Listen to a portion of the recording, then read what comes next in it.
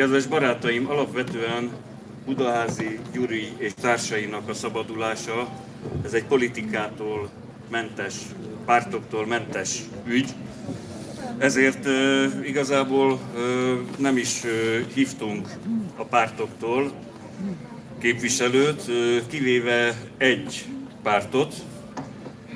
Ők, ő, ővelük azért tettünk kivételt, mert kétségkívül ez a párt, parlamenti párt az, amelyik mindvégig képviselte Budaházi Gyuri szabadulásának az ügyét, ezért ebben az esetben kivételt tettünk. Fogadják szeretettel a Mi Hazánk, Mi Hazánk párt alelnökét, Novák Előd urat tartsa meg beszédét.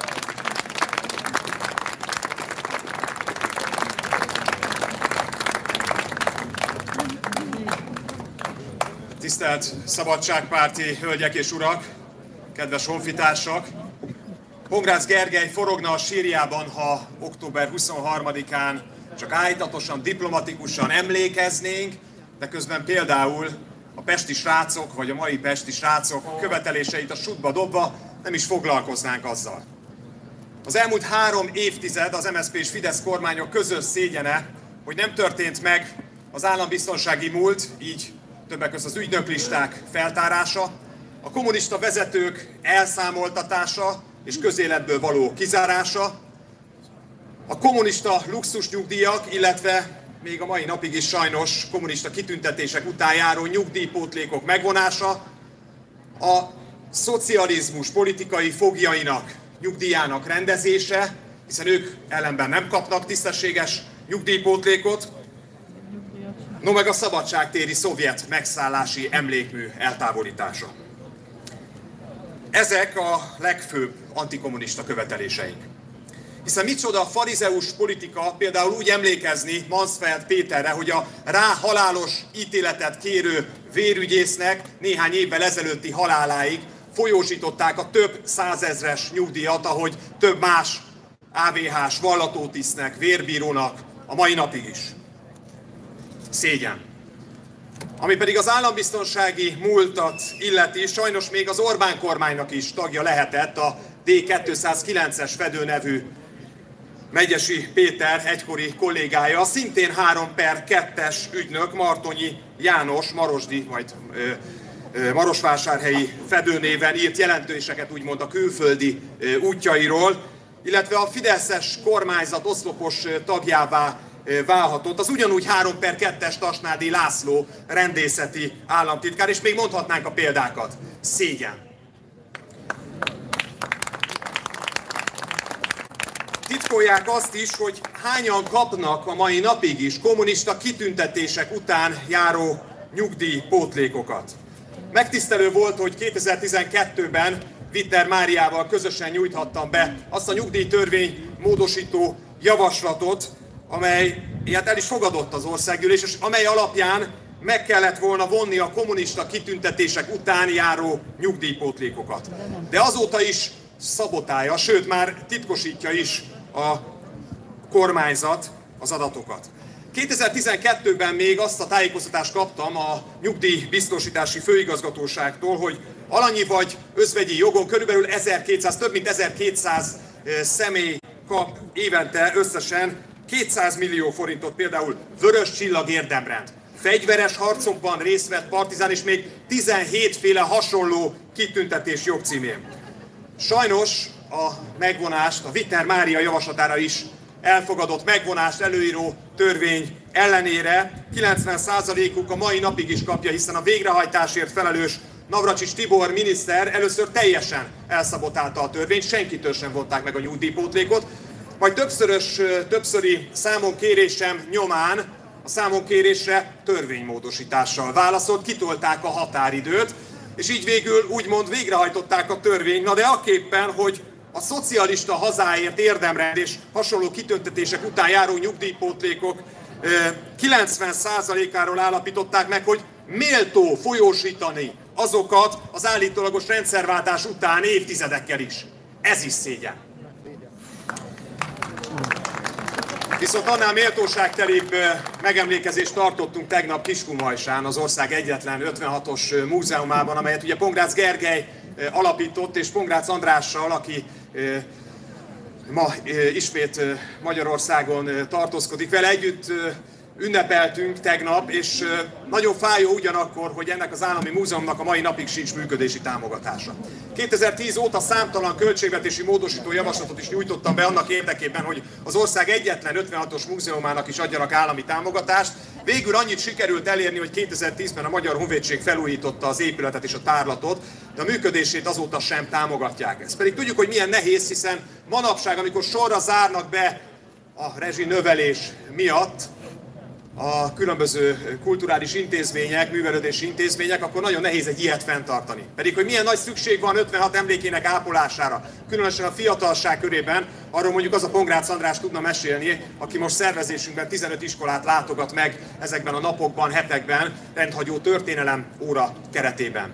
És külön fájó, hogy bár a Kiskunmalsai önkormányzat egy ideig támogatta, de ahogy a Fidesz hatalomra került ott 2019-ben, egyik első dolguk volt, az első hónapok döntései közé sorolták, hogy megszüntessék teljesen azt az évi szerény 3 millió forintos állami működési támogatást.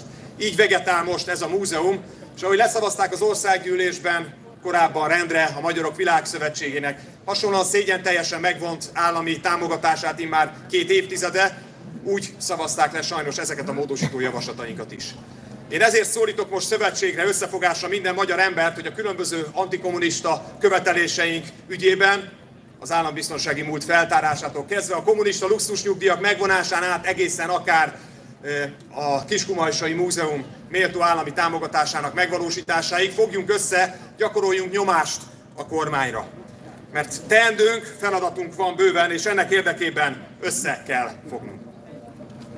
Kádár János 1956 után 7 évvel általános közkegyelmet gyakorolt a forradalomban résztvevőknek, viszont Budaházi György még mindig nincs szabadlábon.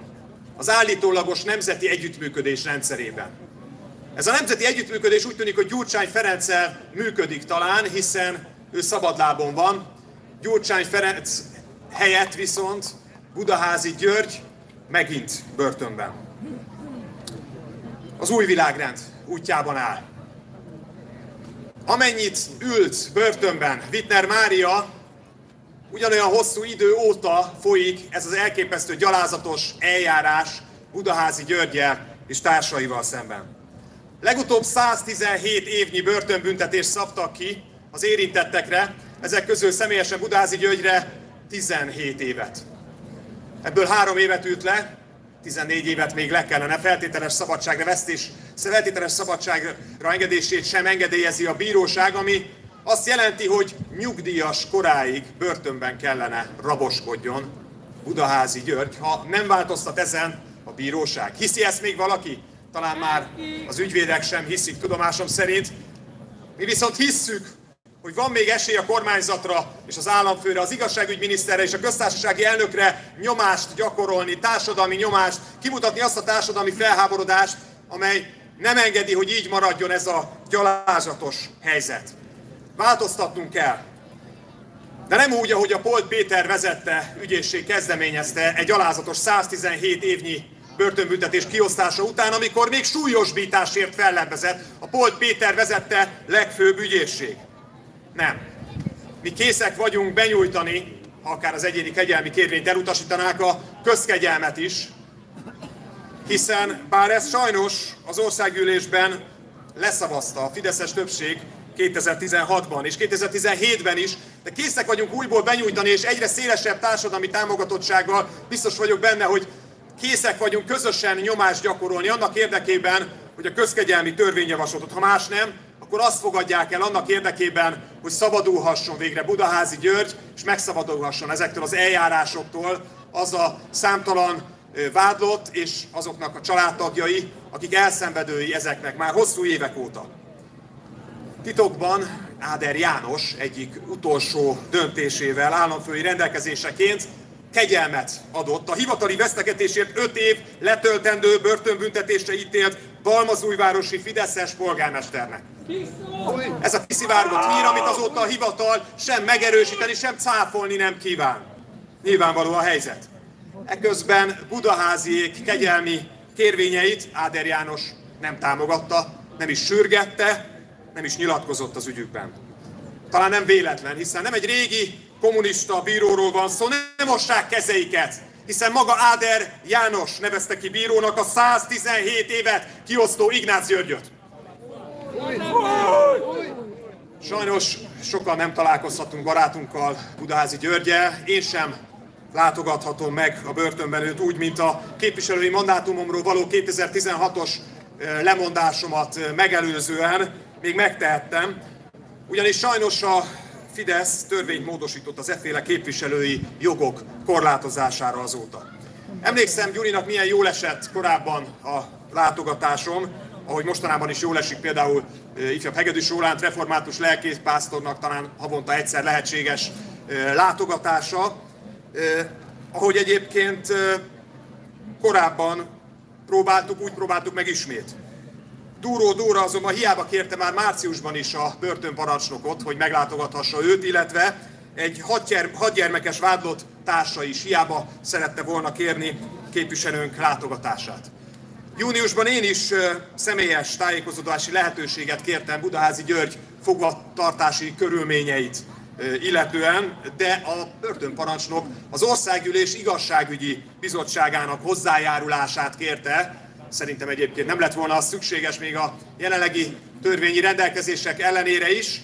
No de a történet vége, hogy az Országgyűlés igazságügyi bizottságának keresztény demokrata elnöke vissza utasította, elutasította a börtön látogatási Budázi Györgyöt felkereső kérelmemet, kérvényemet, mondhatom nagyon keresztényen. Ide jutottunk most, és sokan évtizedek óta, én, én magam is több mint 20 éve barátságban vagyok Budaházi Györgyel, Együtt alapítottuk a Magyar Revíziós Mozgalmat, az igazságot Magyarországnak transzparens alatt vonultunk ki az utcákra, szerte a fővárosban, hogy felhívjuk az emberek figyelmét, hogy az akkor még üldözött, mindenféle fasisztának, rasszistának, sovinisztának elmondott revizionista szemlélettel szemben. A Trianonra való emlékezés az nem egy üldözendő dolog kellene, hogy legyen, ahogy sikerült is évek után egyfajta paradigmaváltást elérni, sok ezer, sok tízezer kiosztott Nagy Magyarországos autós matrica, és annak gépkocsikon való felvállalása, az elszakított honfitas társaink melletti kiállás nyomán is eljuthattunk 2010 után, hogy már kicsit rózsaszínűre, kicsit narancsszínűre festve, kicsit ünnepnappá hazudva azt, amit próbálnak úgy beállítani, hogy már mindent megoldottak, pedig valójában a legnagyobb gyásznapja Magyarországnak, de mégis emlékezhetünk rá. Ez is jelentős részben Budaházi György érdeme, és együtt alapítottuk azt a Szabad Magyarországért mozgalmat, amire szükség volt a nemzeti önrendelkezésünket, itt október 23-án erre külön hívjuk fel a figyelmet, a nemzeti önrendelkezésünket súlyosan csorbító EU csatlakoztatásunk elleni kampányra jött létre, hiszen a Szabad Magyarországért mozgalom hiánypótló kampányt folytatott, miközben az állam egyoldalúan csak az igenek melletti kampányt támogatta. Nyithatunk egy cukrászdát Bécsben, ismerjük még ezeket a történeteket. Hát legfeljebb csak bécsi bankszámlát nyitottak egyesek, mondjuk a volt MSZP-s elnökhelyettes volt államtitkár Simon Gábor, ugye, aki menekülő útvonalat is kiépítve a korrupciója után ugye egy közép-afrikai köztársaság útlevelét is tartotta a széfjében, míg le nem bukott. Hát politikus bűnözők szabadlábon, Budaházi György börtönben. A Szabad Magyarországért mozgalom keretében nemzetünk önrendelkezésért folytatott kampány során is letartóztattak minket, vádlott társam is volt, lehet nemet is mondani. Ugye emlékszünk még ezt a, erre a plakátra, amely persze önkényuralmi jelképeket is tartozott, tar, tartalmazott elutasító módon. A vörös csillagot és amellett természetesen az EU csillagjait is, hiszen azt gondoljuk, hogy hasonlóan gyarmatosító birodalomról van szó, és ideje nemet is mondani. Mi ezért nemzetünk önrendelkezéséért síkra szállva, Budaházi György szabadságáért is tüntetve, a pesti srácok követeléseit ma is valljuk, ne engedjük, hogy nyugdíjas koráig börtönben tartsák Budaházi Györgyöt, fogjunk össze, hívjuk fel erre az igazságtalanságra, lépten nyomon a figyelmet, igazságot Magyarországnak, Szabadságot Budaházi Györgynek!